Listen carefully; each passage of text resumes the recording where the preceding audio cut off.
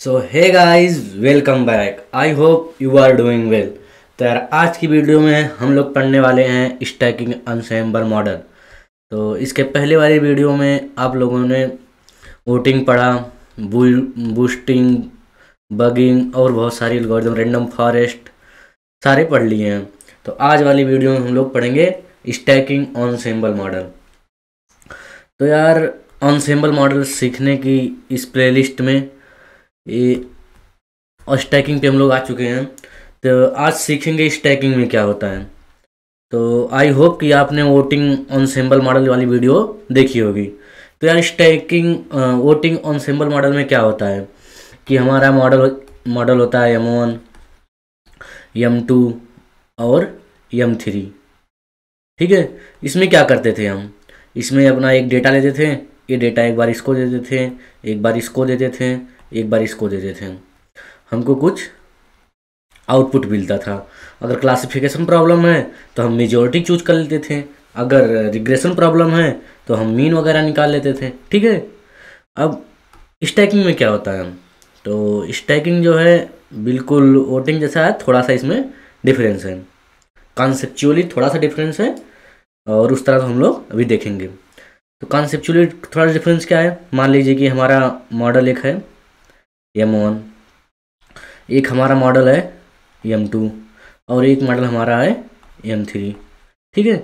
इसमें हम अपना डेटा डी देते हैं इसको भी इसको भी। ठीक है? इसके बाद ये तो हमारा जो भी आउटपुट आएगा, इसका इसका जो भी प्रिडिक्शन आएगा। उसके बाद हम इनके प्रिडिक्शन वैल्यू से, इनका प्रिडिक्शन वैल्यू जो आएगा, उसको एक तीसरा मॉडल लेंगे एम फोर इसके प्रिडिक्शन वैल्यू को इसको देंगे। फिर इससे जो आउटपुट आएगा वो हमारा होगा फाइनल आउटपुट ठीक है? आपको समझ में आया होगा? एक बार और सुन लीजिए क्या कर, क्या मतलब है इसका स्टैकिंग का। स्टैकिंग में क्या होगा कि सारे मॉडल को हम अपना डेटा देंगे। एक एक करके। फिर इनसे जो आउटपुट आएगा हमारा वो इस तीसरे मॉडल के लिए इसको मेटा मॉडल बोलते हैं। मेटा मॉडल ठीक है? इस तीसरे मॉडल के लिए, चौथे मॉडल के लिए मतलब मेटा मॉडल के लिए। इनका आउटपुट इसके आउट इसके लिए मेटा मॉडल के लिए इनपुट का काम करेगा। ठीक है? तो इसको देखते हैं। तो आप पूछेंगे कि स्ट्राइकिंग क्यों आया डिफरेंस कैसे है? बूस्टिंग बगिंग से? तो भैया हम बोलेंगे, देखो डिफरेंस कैसे है। बूस्टिंग बगिंग में क्या होता था? हमारे मॉडल सेम रहते थे। लेकिन यहाँ पर क्या है? मॉडल हमारा डिफरेंट है। बूस्टिंग बग में क्या होता था? मॉडल हमारे सेम होते थे। लेकिन स्टैकिंग में क्या है? कि हमारे मॉडल सेम है। और एक डिफरेंस आता है ट्रेनिंग में। ट्रेनिंग और टेस्टिंग डेटा में। उसको देखते हैं अभी। तो भाई, इसको एक एग्ज़ाम्पल लेके समझते हैं। ठीक है? मान लीजिए कि हमारा एक कोई डेटाबेस है। कोई हमारा डेटा सेट है। मान लीजिए इसमें तीन फीचर दिए हैं एफ़ वन एफ़ टू और एफ़ थ्री और एक हमारा लेबल है। ठीक है? इस डेटा बेस का नाम है डेटा सेट का नाम है डी ठीक है? तो इस डेटा सेट को हम क्या करेंगे? एक बार इसको देंगे, एक बार इसको देंगे, एक बार इसको देंगे। ठीक है? तो एम वाले मॉडल से हमारा क्या आएगा? कुछ आएगा? प्रिडिक्शन कुछ आएगा? मान लीजिए हैं एम का प्रिडिक्शन आता है एम प्रेड ठीक है? उसी तरह क्या होगा? एम टू का पीरियड आएगा प्रिडिक्शन वैल्यू कुछ आएगी, मान लेते हैं वाई का प्रिडिक्शन कुछ आता है। फिर उसी तरह क्या होगा? एम थ्री का प्रिडिक्शन वैल्यू आएगा, मान लेते हैं एम थ्री आएगा, ठीक है? और ये हमारा फाइनल लेवल है, वो तो ऐसे ही रहेगा। आप देख रहे हैं यह हमारा वन का प्रिडिक्शन वैल्यू आया यहाँ से वन प्रिडिक्शन आएगा, यहाँ पे एम टू प्रिडिक्शन आएगा, यहाँ पर एम थ्री प्रिडिक्शन आएगा।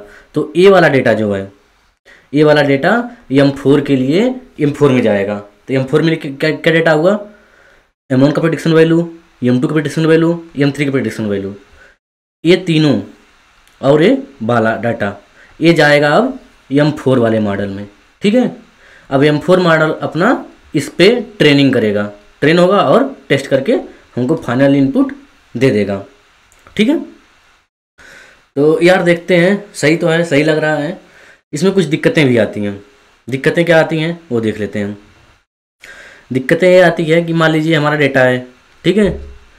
और जब हम अपना एम मॉडल को दे रहे हैं प्रेडिक्शन के लिए, वही डेटा हम एम टू मॉडल को दे रहे हैं पेडिशन के लिए, वही डेटा हम अपना एम थ्री को दे रहे हैं पेडिशन के लिए तो जो हमारा डेटा आएगा यहाँ पर, उसको हम फिर एम फोर को देंगे, ठीक है? सेम डेटा पर हमारा M one M two M three जो है प्रिडिक्शन दे दिया है। फिर हम वही सेम लेबल जब इसको देंगे टेस्टिंग के लिए तो क्या होगा? ये कंडीशन आ जाएगी क्या? ओवर फिटिंग की कंडीशन आ जाएगी। आपको समझ आ गया होगा कि कैसे ओवर फिटिंग आ रही है। ये वाला डेटा जो है, एक बार एम वन को गया, एक बार एम टू को गया, एक बार एम थ्री को गया। फिर हम क्या कर रहे हैं? सेम डेटा पर सेम डेटा पर अपने एम थ्री को भी टेस्ट कर रहे हैं। ट्रेन कर रहे हैं, ठीक है? अपने एम थ्री को इस पर ट्रेन करेंगे और टेस्ट करेंगे अपने सेम लेवल पर। तो क्या होगा? ओवर फिटिंग हो जाएगा।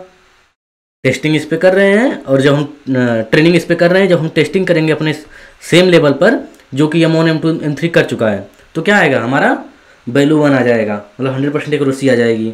तो क्या हो जाएगा? पूरा ओवर फिटिंग हो जाएगा। तो इससे बचने के लिए, इससे बचने के लिए हमारे पास आता है इसमें कुछ और तरीके, उसको बचा कैसे जाएगा। तो अभी डिस्कस करते हैं उसको।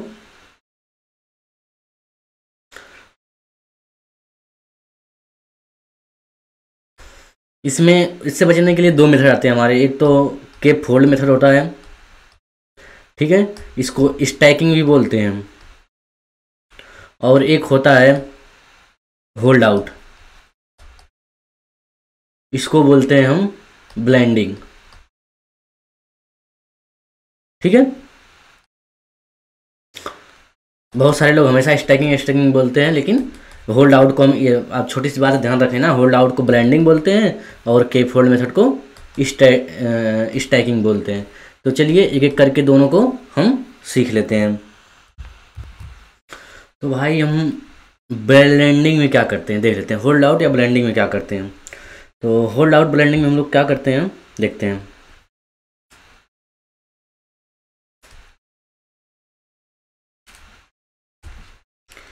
तो मान लीजिए हमारा ये डेटा है। ओरिजिनल डेटा इसको हम दो पार्ट में डिवाइड कर देते हैं। एक ट्रेनिंग में और एक टेस्टिंग डेटा में, ठीक है? और फिर ये जो हमारा डाटा आया, इसको हम फिर दो पार्ट में डिवाइड कर देते हैं।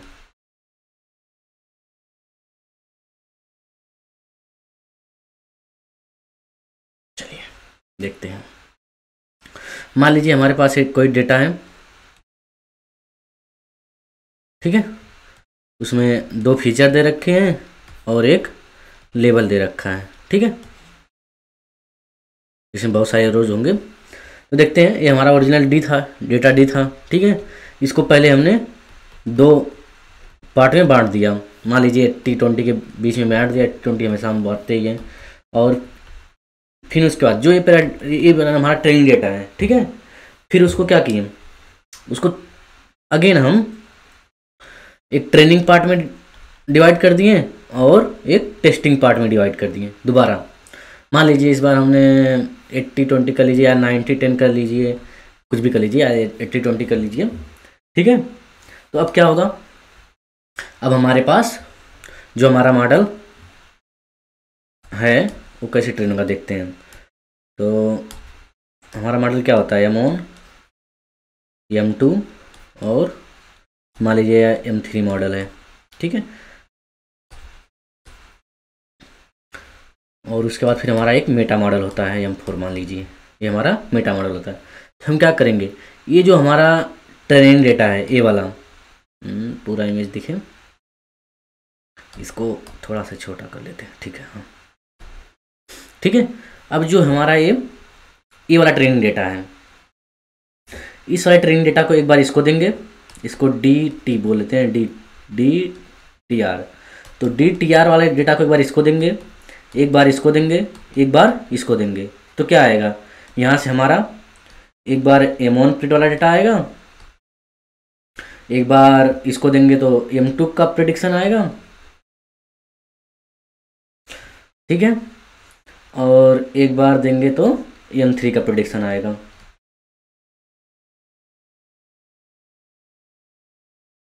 ठीक है? इस वाले डेटा को ट्रेनिंग में हम दे देंगे। फिर इसका यूज़ कर करके हम इसका टेस्टिंग भी कर लेंगे। ठीक है? इससे हमारे पास क्या आएगा? एम वन का प्रोडिक्शन आ जाएगा, कुछ एम टू का प्रोडिक्शन आ जाएगा, कुछ एम थ्री का प्रोडिक्शन आ जाएगा। ठीक है? और एक हमारा लेवल पहले से ही रहेगा। पुराना वाला लेवल ठीक है? अब हमारा जो मेटल मेटा मॉडल है, वो क्या होगा? वो इस वाले डेटा पर, इस वाले डेटा पर ट्रेन होगा। ये जो हमारा मॉडल है, पहले स्टेप में देखो हम लोग, पहले में क्या किए? पहले में जो हमारा मॉडल था, पहले हमने जो हमारा डेटा सेट था, पहले हमने उसको दो बार, एक बार ट्रेनिंग टेस्टिंग में डिवाइड किया अगेन ट्रेनिंग डेटा को ट्रेनिंग और टेस्टिंग में डिवाइड किया। फिर क्या किए हम लोग? जो हमारा बेस मॉडल है, इसको क्या बोलते हैं? बेस मॉडल बोलते हैं। हमने अपने बेस मॉडल को जो है ट्रेन करवाया। बेस मॉडल को ट्रेन करवाया और जो इसका टेस्टिंग डेटा है, इस पर टेस्टिंग करके हमने अपना प्रिडिक्शंस निकाल लिए, ठीक है? अब जो हमारा एम फोर मतलब मेटा मॉडल है, उसको हम ट्रेन करवाएँगे। ये जो हमारा डेटा मिला है हमको, ये वाला, ठीक है? अब जब हमारा डेटा मिल गया, यहाँ से भी मतलब अब हमारा बेस मॉडल भी और मेटा मॉडल भी ट्रेन हो चुका है। अब उसके बाद हम अपना टेस्टिंग डेटा उठाएँगे। टेस्टिंग डेटा उठाएँगे और एक बार इसको देंगे, एक बार इसको देंगे, एक बार इसको देंगे। फिर क्या होगा? हम अपना ऐसे ही अपना मॉडल पूरा जो है अनसेंबल मॉडल जो हमारा बना है, वो पूरा हम चेक कर सकते हैं। तो ठीक है, अब अगला अगला देखते हैं। तो हम देखते हैं अपना के फोल्ड या स्टैकिंग मॉडल तो इसमें क्या करते हैं? इसमें हम लोग, मान लीजिए कि हमारा एक कोई डेटा सेट है डी ठीक है? इसमें फ़ोन फीचर है, दो फीचर हैं, और एक मान लीजिए लेबल है, ठीक है? मान लीजिए इसमें हमारा दो हज़ार टू थाउज़ेंड रोज़ दिए हुए हैं, ठीक है?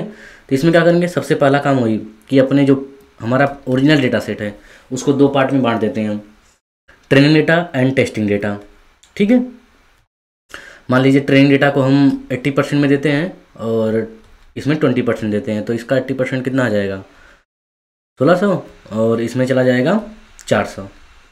ठीक है फिर अगेन के फोल्ड के फोल्ड में जो हम के वेरिएबल है इसका वैल्यू लेते हैं ठीक है इसका वैल्यू आप एक्चुअली कुछ भी ले सकते हैं लेकिन जनरली लोग अपने डेटा के हिसाब से पाँच या दस ऐसे कुछ लेते हैं। तो हम जो है अभी इस आ, इस कंडीशन में चार लेते हैं, ठीक है? क्योंकि सोलह सौ है तो मैं इसे चार पार्ट में अपना डिवाइड कर देता हूँ।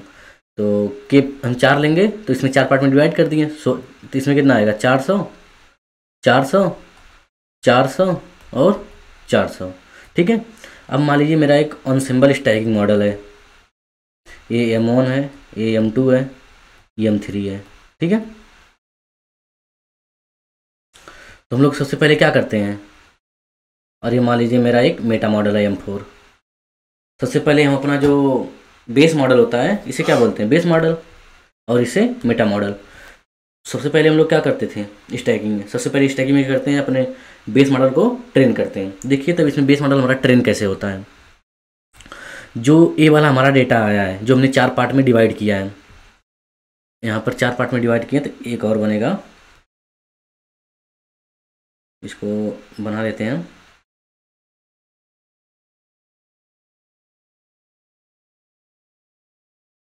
ठीक है। एक, दो, तीन, चार, ठीक है? तो देखिए, हमारा एमोन मॉडल कैसे ट्रेन ट्रेन होगा? तो जब हम अपने एमोन मॉडल को ट्रेन करेंगे तो क्या करेगा? ये हमारा जो डेटा है, चार सौ वाला, इसको इसको और इसको, ठीक है? इन तीनों पे लेकर के हमारा मॉडल एमोन ट्रेन होगा। ठीक है? मॉडल एमोन ट्रेन हुआ और ये चौथा बच गया फोर्थ वाला पार्ट इस पर हमारा डेटा टेस्ट होगा। एमोन मॉडल हमारा टेस्ट होगा। अब जैसे ही टेस्ट होगा, वो हमको कुछ क्या करेगा? कुछ प्रिडिक्शन देगा। हम मान लेते हैं कि हमको एमोन प्रेड की वैल्यू मिल गई एमोन प्रिडिक्शन की वैल्यू मिल गई। ठीक है? कितना मिला? ये चार सौ है तो हमको चार सौ रोज मिल जाएँगे। फिर क्या होगा? फिर एमोन जो है, इन तीनों को एज अ ट्रेनिंग के लिए यूज़ करेगा, ठीक है? फिर इसका यूज़ कर करके वो अपने आप को टेस्ट करेगा। तो इससे भी हमको चार सौ रोज मिलेंगे फिर। फिर हमको चार सौ रोज मिलेंगे, ठीक है? फिर एम मॉडल क्या करेगा? फिर इन दोनों का, इन इन तीन का यूज़ कर करके ट्रेन होगा। और इस वाले का यूज़ कर करके टेस्ट होगा। तो फिर हमको एम पीरियड की वैल्यू चार सौ मिलेगी। अब हमारा टोटल कितना हो गया? चार सौ चार सौ चार सौ। चार, बारह सौ हो गए। फिर अगली बार फिर एमोन क्या करेगा? इन तीन पर ट्रेन होगा और इस पर क्या होगा? टेस्ट होगा। तो फिर हमको चार सौ रोज मिल जाएँगे वाई एमोन पीरियड में एमोन पीरियड की वैल्यू टोटल कितने हो गए? सोलह सौ रोज हो गए। इसी तरह एम टू भी हमारा सेम ट्रेन होगा। तीन पर ट्रेन होगा और एक पे टेस्ट होगा। फिर तीन पे ट्रेन होगा, एक पे टेस्ट होगा। फिर तीन पे ट्रेन होगा, एक पे टेस्ट होगा। तो हमको इस तरह एम टू की वैल्यू मिल जाएगी। फिर इस तरह हमको एम थ्री की वैल्यू मिल जाएगी। ठीक है? और हमारा जो फाइनल वाला लेवल है, वो हमको फाइनल लेवल हमारा मिल जाएगा। ठीक है? तो इसका डायमेंशन क्या होगा? इसका डायमेंशन हमारा एम मॉडल कितनी बार ट्रेन हुआ? है चार चार चार चार। मतलब एक बार इस पर टेस्ट हुआ है एक बार इस एक बार इस पर टेस्ट हुआ है, एक बार इस पर टेस्ट हुआ है, एक बार इस पर टेस्ट हुआ है, एक बार इस पर टेस्ट हुआ है। तो इसका चार सौ, इसका चार सौ, इसका चार सौ, इसका चार सौ, सोलह सौ। हमारे पास कितना हो गया? टोटल सोलह सौ रो और मान लीजिए कि चार कालम हमारे पास हो गए। तो ये वाला जो डेटा है, उसके बाद हमारा जो एम फोर मॉडल है मेटा मॉडल है, वो इस डेटा पर क्या होगा? अपने आप को ट्रेन करेगा। इस डेटा पर अपने आप को ट्रेन करेगा। अब क्या होगा कि हमारा चारों मॉडल जो बेस मॉडल है, तीन और एक, जो हमारा ये तीन बेस मॉडल है और एक मेटा मॉडल है। ये चारों मॉडल ट्रेन हो गए। ठीक है? अब आता है हमारा एक्चुअल टेस्टिंग का। एक्चुअल टेस्टिंग में क्या करेंगे हम? देख लीजिए, हम पहले मॉडल पहली बार में क्या किए? अपने इस डेटा को एक बार और सुन लीजिए। अपने डेटा को दो पार्ट में डिवाइड कर दिए। फिर अपने ट्रेनिंग डेटा में जो आया, उसको के फोल्ड की वैल्यू लेकर के की वैल्यू लेकर चार, पाँच, जो भी लेना, छः, सात, आठ, जो भी लेना है, हमने अपने डेटा को उतने पार्ट में डिवाइड कर दिया। फिर हर एक पार्ट पर हाँ अब हर एक पार्ट पर अपने डेटा को, अपने मॉडल को ट्रेन कर रहे हैं और उससे हमको वैल्यू मिल रही है। फिर ये जो वैल्यू आ रही है, इस पर हम अपने एम फोर मॉडल को ट्रेन कर रहे हैं, ठीक है? तो हमारा अब M one M two M three चारों एम फोर मॉडल हमारा जो मेटा मॉडल और बेस मॉडल है दोनों, चारों जो है हमारा ट्रेन हो चुके हैं। अब बात आती है टेस्टिंग की। टेस्टिंग के लिए हम क्या करेंगे? टेस्टिंग के लिए हम क्या करेंगे कि हम अगेन अपना जो ये तीन मॉडल है अगेन क्या करेंगे? अपने मॉडल को इस पे ट्रेन कराएँगे अगेन ट्रेन करवाएँगे। अगेन ट्रेन करवाएँगे तो क्या होगा? M M one M one M two M three ये अगेन ट्रेन होगा किस पे? इस पूरे डेटा पे, इकट्ठा। एक बार इसको देंगे, एक बार इसको देंगे, एक बार इसको देंगे। और एम फोर हमारा अब नहीं ट्रेन होगा। एम फोर हमारा पहले इस वाले डेटा से ट्रेन हो चुका है। ठीक है? अब इसके बाद जो भी मॉडल हमारा आएगा, जो भी हमारा मॉडल बनेगा ये पूरा उसको हम इस वाले डेटा पर, इस टेस्टिंग वाले डेटा पर हम अपना टेस्टिंग कर करके अपना फाइनल आउटपुट ले लेंगे। तो आई होप आपको समझ में आया होगा। एक बार एक बार लास्ट वाला लास्ट वाला टर्म एक बार और देख लेते हैं। पहले बार में क्या हुआ था? कि हमने जो डेटा ट्रेनिंग को जो स्प्लिट करके बनाया है, उस पर हमारा बेस मॉडल ट्रेन होगा। उससे जो हमारा आउटपुट मिलेगा, उस वाले मॉडल पर, उस पे, उस डेटा सेट पे हमारा मेटा मॉडल ट्रेन होगा। ठीक है? अब हमारा मेटा मॉडल ट्रेन हो गया। अब फिर हम अगली बार क्या करेंगे? रीट्रेन करेंगे। रीट्रेन करेंगे कि कौन से डेटा पर? जो हमारा एक फाइनल सोलह सौ डेटा है। इस पर अपने बेस मॉडल को ट्रेन करेंगे। ठीक है? अब अब अगली बार अगली बार हम अपने मेटा मॉडल को नहीं ट्रेन करेंगे, क्योंकि मेटा मॉडल हमारा इस पर ट्रेन हो चुका है। ठीक है? तो फिर हमारा मेटा मॉडल ट्रेन हो चुका है। फिर हम अपना टेस्टिंग करने के लिए, ये जो हमारा टेस्टिंग वाला पार्ट है, इस पर हम अपना एक्चुअल टेस्ट कर रहे हैं। इसमें आप देख रहे हैं क्या हो रहा है? हमारा जो बेस मॉडल है, ये दो बार ट्रेन हो रहा है। एक बार एम फोर को ट्रेनिंग के लिए जो डेटा चाहिए, उसके लिए ट्रेन हो रहा है और एक बार टेस्टिंग के लिए जो जो हमको फाइनल आउटपुट चाहिए, उसके लिए होल ट्रेनिंग पर टेस्ट हो रहा है। ठीक है? तो आई होप आपको ये भी समझ में आया होगा कि केप फोल्ड मेथड में कैसे हमारा ओवरफिटिंग से हम बच जाते हैं। ठीक है स्टैकिंग में? तो चलते हैं अब इसका इम्प्लीमेंटेशन देखने। यार इम्प्लीमेंटेशन के पहले एक और चीज़ देख लेते हैं। मल्टी लेयर ये भी एक टेक्निक है ओवर ओवर फिटिंग से बचने के लिए स्टैकिंग में। ये हम आगे पढ़ेंगे कभी एडवांस थोड़ा है। जब काइकल के कंपटीशन वगैरह होते हैं तो इसमें बहुत सारे लोग इसका यूज़ करते हैं। तो हम लोग भी बनाएँगे प्रोजेक्ट इस पर अभी के लिए हम लोग चलते हैं अपना स्टैकिंग पे, इसका इम्प्लीमेंट इम्प्लीमेंट करने के लिए। ठीक है? जैसे मैंने आपको क्लासिफिकेशन का समझाया, वैसे रिग्रेशन का भी होता है। रिग्रेशन में बस क्या होता है? हम लोग मीन निकाल लेते हैं। तो चलते हैं। तो यार मैंने जो वोटिंग क्लासीफायर में जो डेटा ले रखा था आयरिस का, वही मैंने ले रखा है। आप डिफरेंट डिफरेंट डेटा सेट ले रखते हैं, सब पे काम करेगा, एकदम बढ़िया। तो मैंने क्या किया फटाफट देख लेते हैं। तो यहाँ पर मैंने पी डी ले रखा है इनपुट पांडाज किया, एक अपना आयरिस डेटा सेट पर रीड कर लिया है।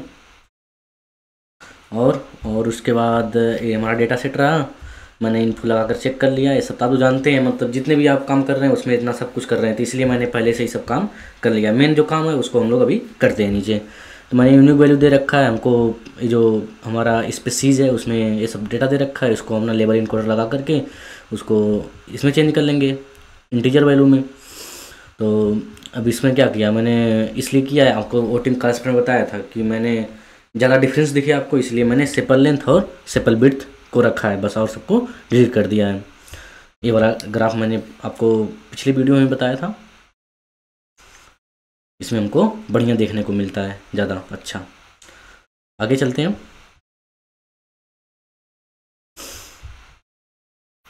तो मैंने अपने एक्स और वाई को अलग कर लिया है, अपने मतलब फीचर्स को अलग कर लिया है और लेवल को अलग कर लिया है यहाँ पर। और आगे बचा हमारा टेन ट्रेन टेस्ट ये सभी लोग जानते हैं, हमेशा हम लोग करते हैं, अपने डेटा को अपने स्टैक वाले डेटा में क्या कर रहे थे? हम लोग अपना अलग अलग कर रहे थे ना, वही काम यहाँ पर हमने कर लिया है। अब देखो यार, यहाँ से यहाँ से हमारा मेन काम चालू होता है। तो उसमें क्या होता था? स्टैकिंग में एम वन एम टू तो मैंने क्या रखा है? दो मॉडल अपना बेस मॉडल में रखा है और एक मॉडल जो है मेटा मॉडल में रखा है। तो बेस मॉडल में मैं किसको किसको लूँगा? आप किसी को ले सकते हैं। चलो तो इसमें लेते हैं हम। किसको किसको डिसाइड कर लेते हैं, चलो। कि किसको बेस मॉडल में रखेंगे? इसको और इसको लिख लेते हैं अपने बेस बेस मॉडल में और इसको ले लेते हैं अपने मेटा मॉडल में। ठीक है? करते हैं फिर। तो बहुत बढ़िया। हाँ। तो एक बार पहले जो स्टैकिंग क्लासीफायर है उसका लाइब्रेरी देख लेते हैं। यहाँ पर यहाँ पर रहा है स्टैकिंग क्लासीफायर तो इसमें क्या देख रखा है? अनसेंबल में है स्टैकिंग क्लासीफायर इसको इंपोर्ट कर लेते हैं।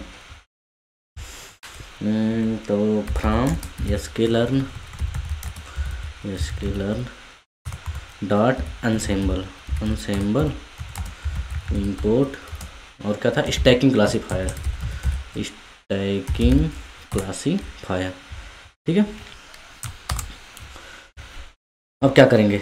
स्टैकिंग क्लासीफायर में क्या क्या चाहिए? एक हमको एस्टिमेटर चाहिए और एक फाइनल एस्टिमेटर चाहिए। एस्टिमेटर में क्या है? हमारा बेस मॉडल होगा और फाइनल एस्टिमेटर में हमारा मेटा मॉडल होगा। तो चलिए इसको देते हैं। हम्म। तो देते हैं इसको।